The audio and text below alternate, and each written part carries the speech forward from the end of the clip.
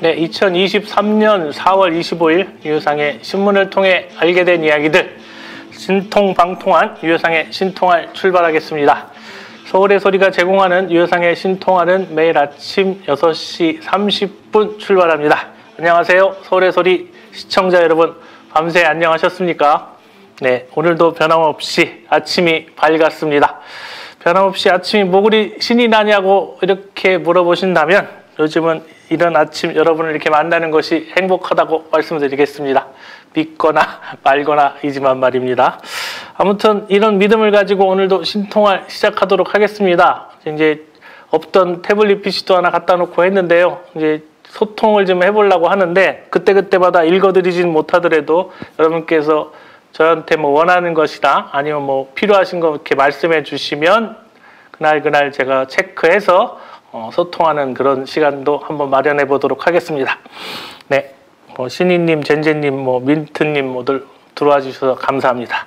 그럼 신통할 오늘 아침 출근길 날씨부터 전해드리고 시작하겠습니다. 자, 화요일인 오늘은 전국이 흐리고 곳에 따라 비가 내리겠습니다. 새벽에 전남 남서부 해안과 제주도에 비가 시작돼 오전에 남부지방, 오후에 강원 남부와 충청권으로 확대되겠습니다. 이 비는 밤에 대부분 그칠 것으로 보입니다.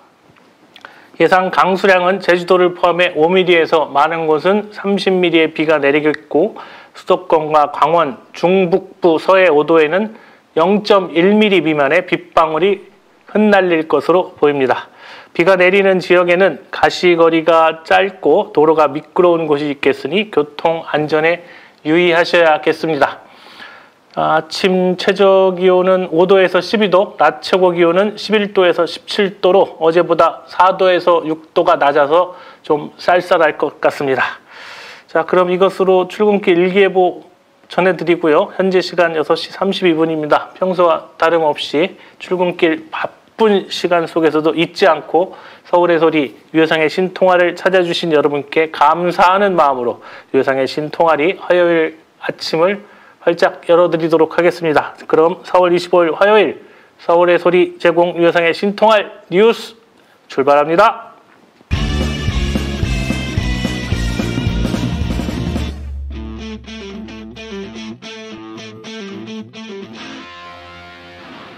네, 오늘도 아침 단신부터 몇 가지 전해드리고 시작하겠습니다. 자, 리얼미터 윤석열 지지율 3주 연속 하락해서 1%포인트 내린 32.6%를 기록했답니다. 자, 여전히 리얼미터 후하지요. 네, 아무래도 윤석열은 리얼미터만 보지 않을까 이렇게 생각해 봅니다. 자, 다음입니다. 검찰이 곽상도 의원 50억 클럽, 산업은행 등을 압수수색했답니다. 뭔가 자 하긴 해야겠고 이러다가 심평이 얘기한 것처럼 탈탈 털어도 깨끗하다고 하는 건 아닌지 모르겠습니다. 자, 다음입니다. 최고위에 참석한 태용호 의원이 정광훈 목사에게 조용히 있어 달라고 했답니다. 자, 다, 다른 사람은 몰라도 태용호가 이렇게 얘기를 했다니까 참 연락 웃기지요. 아무래도 정광훈이 조용히 빤스 한번 내려줘야 할 것 같습니다. 자, 다음입니다. 박용진 의원이 김일성에게 배운 태용호 징계가 아니라 퇴출해야 한다고 했답니다. 자, 저는 뭐 조만간 남북 화해 분위기를 조성하기 위해서 우리 저 태용호 의원을 남측 특사로 북에 보내면 어떨까 이런 생각을 좀 해봅니다. 기꺼이 조국을 위해서 가주지 않겠, 않을까요? 자, 다음입니다. 자, 송영길 전 대표 귀국길에 국민과 당원께 송구하다고 했답니다. 자, 두둔하는 건 절대 아니지만 과연 이게 국민의힘한테 이렇게 조롱당할 일인가 싶어요. 자, 말을 하자면 길어질 것 같아서 이 정도만 하겠습니다. 다음입니다. 한덕수 총리가 젊은 MZ세대 한미동맹 동맹 피부로 느낄 것, 느낄 것 이렇게 얘기를 했답니다. 자, 이 양반들은 왜 이렇게 분위기 파악을 못하는지 모르겠어요. 그러니까 꼰대 할배 소리 듣는 거 아닌지 뭐 그런 생각이 좀 듭니다. 다음입니다. 야당이 윤석열 대통령 무개념 인터뷰 어느 나라 대통령이냐 이렇게 따져 물었습니다. 뭐 그야 대한민국 대통령 맞기는 하지요. 그게 참 환장할 노릇입니다. 다음입니다. 러시아 교민들이 우크라이나 살상무기 지원 반대라고 했답니다. 참 그러거나 말거나 우리 윤석열은 지금 러시아는 안중에도 없는 모양입니다. 러시아 교민들, 저 우리 지금 대한민국에서 하고 있는 과학 방역 각자 도생 이게 살 길 아닌지 참 걱정스럽습니다. 다음입니다. 경찰이 윤석열, 한동훈, 청담동 의혹 제기한 김의겸 의원을 서면 조사했답니다. 자, 김의겸을 서면 조사했으니까 윤석열, 한동훈은 뭐 두고 보나만 하겠지요.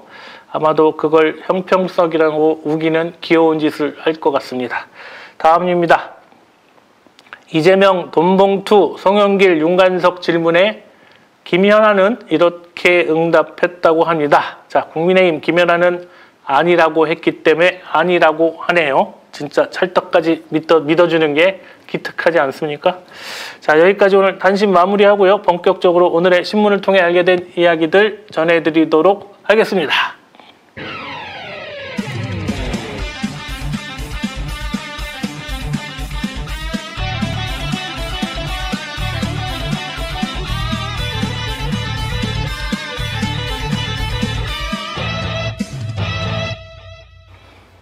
네, 신이님 태영호 간첩 신고하신다 그랬는데 요즘 간첩 신고하면 얼마 주죠?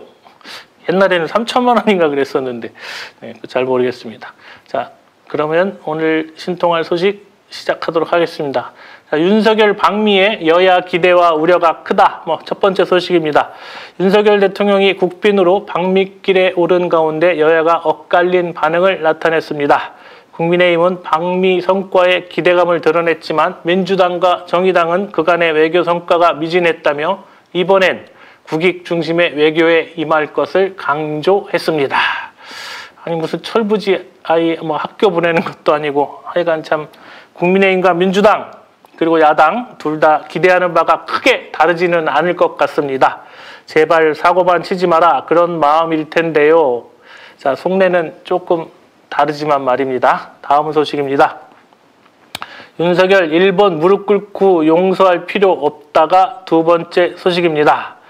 자, 윤석열 대통령이 미국 가기 전에 외신과의 인터뷰에서 100년 전 역사 때문에 일본이 무릎을 꿇고 용서를 구해야 한다는 생각을 받아들일 수는 없다고 말해서 파장이 예상됩니다. 해당 인터뷰는 윤석열 대통령이 워싱턴 포스트지와 미국 방문을 앞두고 진행됐습니다. 자, 100번 양보해서 무릎 꿇지 않아도 된다고 합시다. 근데 언제 한번 제대로 된 사과라도 받아본 적이 있냐고요. 자, 그리고 당신이 뭔데 받아들이고 말고를 정한다는 건지 진짜 웃기는 짜장 아닙니까? 자, 다음 소식입니다. 국민의힘 송영길 무슨 개선 장군이냐 비난했다는 게 세 번째 소식입니다. 국민의힘은 송영길 전 대표의 귀국에 대해 마치 개선 장군이 입국하는 듯한 모양새라고 비판했습니다. 특히 태용호 의원은 검찰이 오늘이라도 소환하면 응하겠다고 당당한 모습을 보였다며 봉투남 송영길 개선 장군인 줄 아시나라고 했습니다. 빨리 들어와서 수사받으라고 할 때는 언제고 빨리 들어오니까 많이 놀라신 모양입니다. 하여간 국민의힘 장단은 무당, 무당굿 장단 아닐까 이런 생각이 들어요. 작두 타다가 발 베일 때까지 남탓하는 게 이 사람들 버릇 아닌가 싶습니다. 자, 다음 소식입니다. 김기현 대표가 윤석열 정부는 문재인 정부와 달라 이렇게 얘기했다는 게 네 번째 소식입니다. 김기현 대표는 윤석열 대통령의 미국 국빈 방문과 관련해 북한 눈치를 보며 미국과 중국 사이에서 오락 가락했던 문재인 정부와는 실로 차원이 다른 동맹을 맺을 것이라고 주장했습니다. 그러면서 대한민국 1호 영업사원 윤석열 대통령께서 경제적 국익도 잘 챙겨주실 것으로 본다고 말했습니다. 자, 푼돈 벌겠다고 큰 거 다 내주고 오면 그게 무슨 영업사원입니까? 설마 잘하는 짓이다. 이걸 칭찬으로 아는 것은 아닐까요? 진짜 잘하는 짓으로 아는 거 맞습니다. 정말 걱정입니다. 자, 다음 소식입니다. 이재명 대표가 윤석열 대통령에게 실용 외교 촉구했다는 다섯 번째 소식입니다. 자, 이재명 대표가 윤석열 대통령 미국 방문에 대해 국익 중심 실용 외교를 재차 촉구했습니다. 이재명 대표는 한쪽에 기대고 다른 쪽과 적대하면 경제는 폭망, 안보는 위기란 최악의 상황으로 갈 위험이 크다고 조언했습니다. 자, 이미 그 길로 가고 있지요. 네, 아무래도 싸놓은 똥 치우느라 고생 좀 할 듯 합니다. 근데 이래서 이재명 대표 만나기를 죽기보다 싫어하는 건 아닌지 어, 그런 것 같습니다. 자, 다음은 소식입니다. 외교부 대한민국은 하나의 중국 존중한다. 이게 여섯 번째 소식입니다. 정재호 주중 한국 대사가 양안 문제를 언급한 윤석열 대통령의 외신 인터뷰에 대한 중국의 반발에 한국 정부는 하나의 중국 존중 입장을 유지하고 있다는 뜻을 전달했습니다. 외교부는, 외교부는 우리의 입장은 일괄되게 같다고 했습니다. 자, 윤석열이 무슨 뭐 외, 외래, 외계인 외래어를 하는 것도 아니고 항상 이런 통역이 왜 필요한지 모르겠습니다만 김기현이 민주당을 향해서 중국과 원팀이냐 이렇게 비판했었는데요. 이렇게 외교부가 꼬랑지를 내리면 윤석열 정부는 또 중국과 원팀이 되는 거 아닌가요? 김기현 대표님 여기에 대해서 뭐라고 한 말씀 하셔야 되는 거 아닙니까? 네, 다음 소식입니다. 국방부가 충분한 포병 탄약 보유 지장 없다 이렇게 얘기했습니다. 이게 일곱 번째 소식입니다. 국방부는 우리 군의 포탄을 대량으로 반출해 안보에 차질이 빚어지고 있다고 주장한 김종대 정의당 전 의원 주장에 대해 공식 반발했습니다. 우리 군은 충분히 포약 탄약을 보유하고 있으며 군사 대비 태세 유지에 전혀 지장이 없다고 주장했습니다. 자, 이렇게 주장했는데요. 그러니까 우리 군에 포탄을 주고도 남는다는 건지 아니면 주지도 않았다는 건지 참 말 잘해야지 괜히 말 실수하면 큰일 치른다는 거 네, 국방부 아셔야 합니다. 자 다음 소식입니다. 미국 땅 밝기도 전에 반도체 청구서 보낸 미국 이게 여덟 번째 소식입니다. 자, 중국이 미국 마이크론의 반도체 판매를 금지해서 반도체가 부족해질 경우 한국 기업이 그 부족분을 채우는 일이 없게 해달라고 미국이, 미국이 한국에 요청했다고 합니다. 자, 윤석열 대통령이 미국 방문을 준비하는 상황에서 나온 요구 사항이라고 합니다. 자, 이렇게 미국 가기도 전에 이러는데 미국에 도착한 윤석열 밥 한 끼 잘 먹이고 궁디 팡팡 해주면 자, 이거 얼마나 퍼주고 올지 불을 보듯 뻔한 거 아닌지 참 걱정입니다.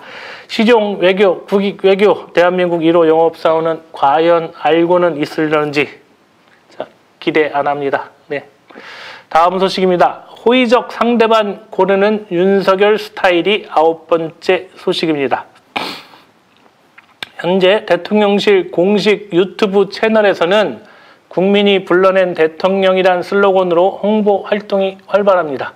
이런 홍보 활동은 온라인을 넘어서 대한민국 1호 영업사원이라는 홍보 영상으로 전국 146곳 6곳의 그 전광판에서 상영 중이라고 합니다. 참, 요즘 꼴 보기 싫어서 뉴스 안 본다는 사람도 많은데 전국 146곳 전광판에서 그 얼굴이 나온다면 국민들 스트레스가 어마어마할 텐데요. 이거 약값 청구해야 하는 건 아닌지 모르겠습니다. 아무튼 호의적인 사람만 골라서 소통한다는 것은 소통이 아니라 아집, 고집이라는 걸 윤석열 대통령은 알아야 할 것입니다. 자, 다음 소식입니다. 태영호 의원이 난 5만 곳에 구걸 안 했다 이런 발언 논란이 열 번째 소식입니다. 자, 국민의힘 태영호 의원이 전당대회에서 여론조사 3%라는 꼴찌로 시작했으나 5만 곳의 도움을 구걸하지는 않았다고 말해 또다시 구설에 올랐습니다.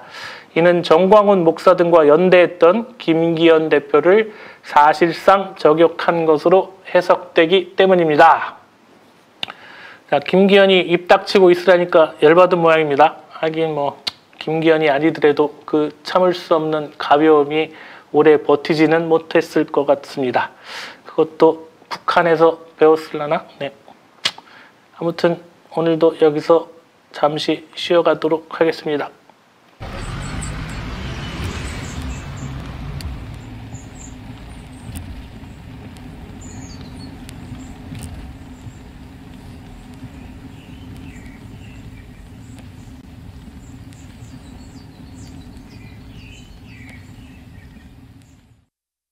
네, 다음 소식입니다. 자, 김건희 특검의 검찰 권오수 갑자기 소환 조사 이게 11번째 소식입니다. 민주당과 정의당이 김건희 특검법 공조에 나서자 검찰이 권오수 전 도이치모터스 회장을 소환 조사한 것으로 알려졌습니다. 검찰은 권오수 전 회장이 김건희의 주가 조작 사실을 인지했는지 여부 등을 조사했다고 뭐 알려졌습니다. 자, 권오수를 불러서 수사를 한 건지 아니면 입단속을 시킨 건지 조금 갸우뚱한데요. 검찰은 이런 의혹이 자꾸 생기니까 열받지 않겠습니까? 자, 그러니까 특검이 정답이다 이겁니다. 다음 소식입니다. 대법원이 공적 인물 문제 제기 허용돼야 한다. 이게 열두 번째 소식입니다. 자, 기억하실런지 모르겠지만 김성애 전 대통령실 종교 다문화 비서관의 초상권을 침해했다며 MBC 기자들을 배상 책임을 인정한 판결은 잘못됐다는 대법원 판단이 나왔습니다. 대법원은 공적 의혹에는 광범위한 문제 제기가 가능하다며 사건을 고법으로 돌려보냈습니다. 자, 맨날 지들은 감추는 자가 법인이라고 하면서 얼굴 하나 내비치는 건 왜 이렇게 쪽팔려 하는지 모르겠습니다. 그러니까 부끄러운 짓을 하지 말았어야지요. 네. 다음 소식입니다. 자, 박지원 전 국정원장이 송영길 사과는 정부와 다른 모습 이렇게 얘기한 게 13번째 소식입니다. 박지원 전 국정원장은 송영길 전 대표가 정치적 책임을 지겠다며 사과한 것 정부 여당과 차별화를 보인 것이라고 살짝 지켜 세웠습니다. 그러면서 이재명 대표도 송전 대표의 즉시 귀국과 해명을 요구하고 사과하는 자세를 보였다고 했습니다. 자, 사과와 반성 빠를수록 좋지요. 네. 그의 말에 동감은 합니다만 참 이렇게 훈수 잘못 두면 뺨 맞을지도 모릅니다. 정치 구단이 아마추어처럼 왜 그러셨는지 잘 모르겠습니다. 다음 소식입니다. 성균관대 교수들 최대 규모 시국선언이 14번째 소식입니다. 성공, 성균관대 교수 연구자들 248명이 시국선언을 발표했습니다. 윤석열 대통령의 미국 방문과 취임 1주년을 맞아 발표한 시국선언에 이름을 올린 교수 연구자 숫자는 개교 이래 최대 규모로 생각된다는 게 주최 측의 설명입니다. 자, 성명에는 나라가 망할지도 모른다는 걱정이 단지 수사가 아니다. 망국이 윤석열의 의지는 아닐까 이렇게 교수님들의 걱정이 이 분명 현실은 아닌가 싶습니다. 근데 오늘도 우리가 아는 스카이는 보이지 않았습니다. 다음 소식입니다. 경찰 김건희 관련해서 민주당 의원 검찰 송치 이게 15번째 소식입니다. 경찰이 김건희 씨와 관련한 허위사실 유포 혐의로 민주당의 우상호, 장경태 의원을 검찰에 송치했습니다. 우상호 의원은 관사 이전 당시 김건희 개인 문제로 장경태 의원은 캄보디아 빈곤 포르노 문제로 허위사실을 유포했다는 겁니다. 자, 미국행 비행기 뜨자마자 엿 먹어라 이건가 본데요. 참 알아서 잘도 기는 애완견들 맞는 것 같습니다. 다음 소식입니다. 김건희 풍자 이후로 시화전 조기 폐막 16번째 소식입니다.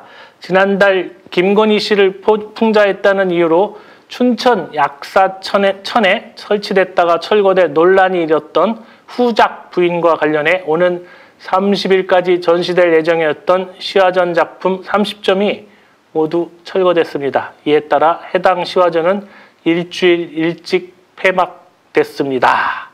그러니까 너무 전곡을 찌르니까 풍자로 보지 않았던 모양입니다. 참 예민하지요. 아무튼 이 후작 부인 여러분 뭐 혹시 들어보신 분 있으신지는 모르겠지만 제가 한번 읊어보도록 하겠습니다.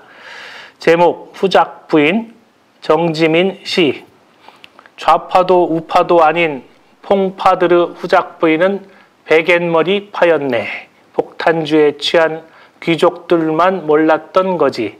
용산의 베갯머리파 그녀, 우아한 흰색 원피스 입고 오늘도 뉴스에 나오시네. 루이 15세는 그녀의 말만 듣지. 20년간 처녀로 15년은 창부로 7년간은 투쟁이로 보낸 여인. 참 뭐 이런 내용입니다. 이게 과연 뭐 호들갑 떨며 철거까지 해야 할 내용인지는 잘 모르겠습니다. 어, 전국을 찔렀난 보이죠. 자, 다음 소식입니다. 쿠팡에도 택배 노조 생겼다가 17번째 소식입니다. 쿠팡 택배에서 일하는 쿠팡 퀵플렉스 쿠팡 택배 노동자들이 택배 노조에 가입했습니다. 이들은 쿠팡 CLS의 부당 해고와 지속되는 노동 조건 악화에 맞서 쿠팡 택배 노동자, 노동자들의 권익을 지켜내기 위해 투쟁해 나갈 것이라고 밝혔습니다. 자, 하루만 늦어도 우리 기다려지는 택배가 어떤 과정을 거쳐서 집으로 배달 오는지는 한번 들여다볼 필요가 있지요. 노동조합은 노동자의 당연한 권리입니다. 그분들만의 권리라고 생각하지 마시고 대한민국 모든 노동자의 권리라고 생각해 주시면 고맙겠습니다. 제 말 맞죠? 네. 다음 소식입니다. 정부 검은 반도체 김 세계화 나선다가 18번째 소식입니다. 정부가 검은 반도체로 불리는 대표 수산식품인 김의 세계화에 나섭니다. 작년 기준 6억 2천만 달러에 달하는 김 수출 규모를 확대하는 것을 넘어 김 GIM이라는 고유 명사를 전 세계에 상품화하겠다는 전략을 피고 있습니다. 자, 미국의 반도체 내주고 김장사 하려는 건 아닌지 참 모르겠습니다. 그런데 후쿠시마 오염수 방류되면 이 김농사 어떻게 해야 하는 건지 참 걱정입니다. 다음 소식입니다.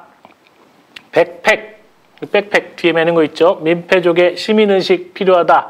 19번째 소식입니다. 백팩을 메고 대중계통을 이용하면서 주변 승객의 부, 불편을 초래하는 민폐족을 두고 시민의 시선이 엇갈리고 있습니다. 주변을 배려하는 시민의식을 갖추라고 요구하는 한편 백팩 배려를 강제하는 건 불편하다는 시선도 있습니다. 자, 백팩을 앞으로 매자는 의견도 있는데요. 백팩을 앞으로 매면 백팩이 아니지 말입니다. 자, 아무쪼록 내 몸에 붙어 있는 거라면 남의 몸에 닿지 않게 하는 것이 맞는 것 같습니다. 좀 주의하셔서 대중교통 이용하실 때, 뭐 얼굴 때리고 뭐 아프더라고요. 자, 다음 소식입니다. 2030 열광 위스키 국민술 소주도 제쳤다가 마지막 소식입니다.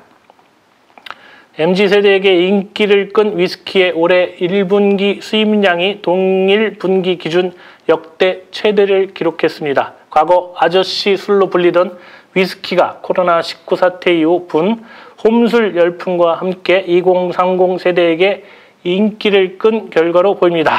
자, 여러분 소주 한 병에 5, 6천씩 뭐 5, 6천 원씩 하니까 집에서 위스키 한 잔이 나을 수도 있습니다. 아무튼 누가 뭐래도 술은 공짜 술이 최고지요. 네. 자, 이것으로 오늘 준비한 뉴스 모두 마치고 다음은 유여상의 오늘의 전국 정치 기상도 알아보겠습니다. 자, 미국에 도착한 윤석열 대통령 부부의 방미 일정이 시작됨에 따라 여야가 모두 촉각을 곤두세우고 있습니다. 과거 외국 방문길에 나선 대통령의 일거수 일투족을 이렇게 온 나라가 관심 있게 지켜본 일은 극히 드물어 보입니다. 민주당은 송영길 전, 대표, 전 대표의 돈봉투 사건에 거리를 두려는 모습이지만 국민의힘의 공세는 더욱 거칠어지고 있어 혼탁한 상황이 연출되고 있습니다. 자, 이상으로 유상의 오늘 정치 기상도까지 전해드렸습니다. 자, 그럼 오늘 신통할 마무리는 인생은 바다와 같습니다. 높은 파도와 함께 왔다가 사그라들었다가 다시 높은 파도와 함께 올라갑니다. 그래도 바다는 변하지 않듯이 우리 인생도 결국 변함없이 이어집니다. 라는 레이첼 라우미 레멘의 명언으로 마무리하겠습니다. 자, 가장 높은 파도에 몸을 싣고 있다 보면 가장 많이 떨어지게 마련이지요. 파도를 타는 서핑 선수가 아니라면 잔잔한 바다를 선호하겠지만 우리 인생은 꼭 그렇지만은 않은 것 같습니다. 결국 성난 파도를 이겨내는 방법은 반복된 연습, 연습으로 피해를 최소화하는 것 뿐일 것 같습니다. 자, 오늘 4월 24일, 자, 4월 25일 화요일 오늘의 서울의 소리 방송 안내해 드리겠습니다.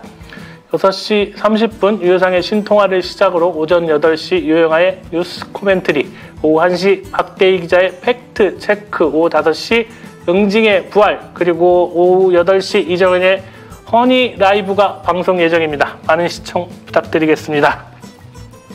오늘도 분주한 출근길 아침 7시 다가오고 있습니다. 오늘도 변함없이 유상의 신통알과 함께 해주셔서 진심으로 감사드립니다. 자, 아침을 어떤 마음으로 시작하느냐가 하루의 기분을 좌우한다고 하지요. 적어도 윤석열, 김건희가 대한민국에 없다는 것은 확실해 보입니다. 그런 의미에서 오늘도 기분 좋게 시작하셨으면 좋겠습니다. 유상의 신통알은 서울의 소리 제공입니다. 그럼 내일 아침 다시 찾아뵙겠습니다. 여러분 고맙습니다.